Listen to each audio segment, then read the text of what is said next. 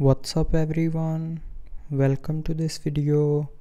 In this video i will show you how to fix the phone app not working issue on your xiaomi poco phone. So to fix this issue first of all open settings. Now in settings scroll down and tap on apps. Now tap on manage apps and from here select the app which is not working. So there are a lot of apps. You can go to the search bar to search for an app.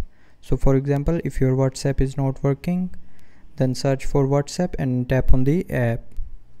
Now go to its storage and clear the cache memory. So after clearing the cache memory the app will start working. So to clear it tap on this option. Now select clear cache and then tap on ok to confirm.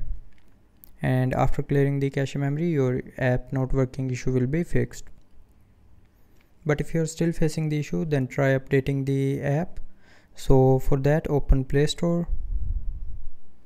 Tap on this profile icon on the top right corner. And then tap on manage apps and device now tap on updates available option. And from here check if your app is up to date or not.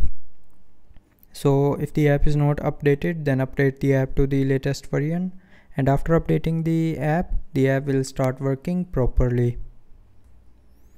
But after this if you are still facing the issue then try restarting your phone. So to restart press and hold on the power button Swipe down this circle and when the circle gets green then you can lift up your finger to restart and after restarting your issue will be fixed. So that's how you can fix the apps not working issue on your Xiaomi Poco phone. So I hope you liked the video. Thanks for watching.